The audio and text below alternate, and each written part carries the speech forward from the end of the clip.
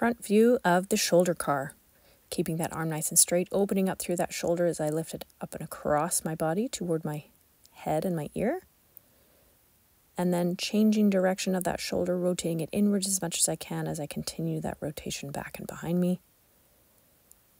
Reversing it behind and then opening it up right here as I continue that rotation up toward my head and my ear and back across my body.